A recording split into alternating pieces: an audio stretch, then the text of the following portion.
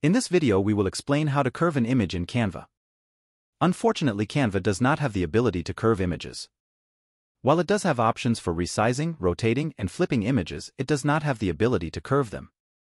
This is a common feature in many other design tools, so it's a bit of a disappointment that Canva does not offer it. The only solution is to use the frame feature.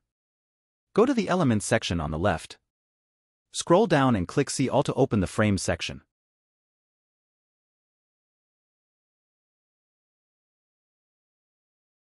Here there are many curved shapes ready for use, where you can simply place the image inside them. Browse these frames and then choose what suits you.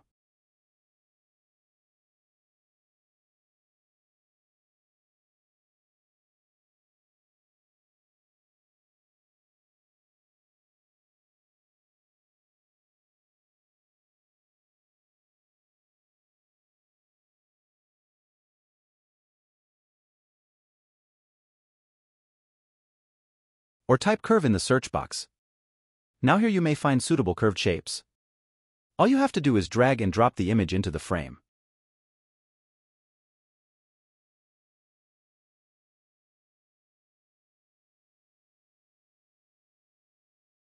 Now the image will take the shape of a curve. This is currently the only solution in Canva to make the image curved. Perhaps in the future Canva will add a tool to make the image curved, like Photoshop. Thanks for watching and don't forget to like and subscribe to the channel.